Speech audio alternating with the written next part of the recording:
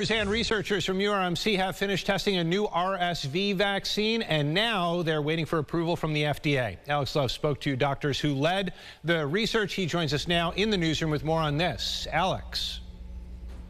Well, this project, Adam, was done in three phases. If approved by the FDA, it would be the first of its kind to fight off serious RSV infections, which played a major role in what doctors called the triple demic last year, burdening the healthcare system.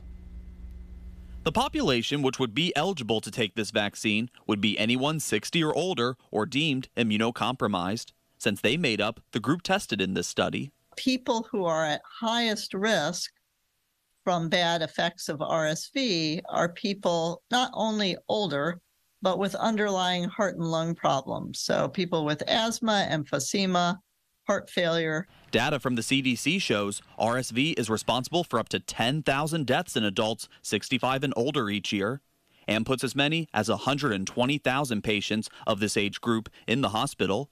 URMC doctors claim the efficacy of this new vaccine showed promising results to keep patients out of the hospital. It was about 85% effective to prevent lower respiratory tract disease. And so, after all, we're not in the field of designing vaccines to prevent colds. What we want to do is prevent medically significant illness.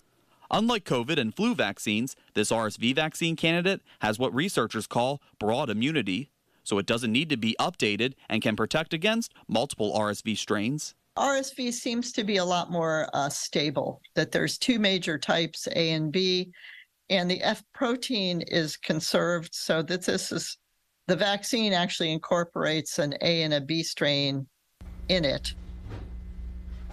The third phase of this study was completed through a partnership between Pfizer and URMC doctors. The vaccine doesn't contain a live virus. Instead, it contains that fusion protein that, stick, that, that sticks out of any RCSV surface and helps it fuse to host cells. Adam? Alex, thank you. The FDA is expected to make their decision on approving this particular RSV vaccine before the end of this year.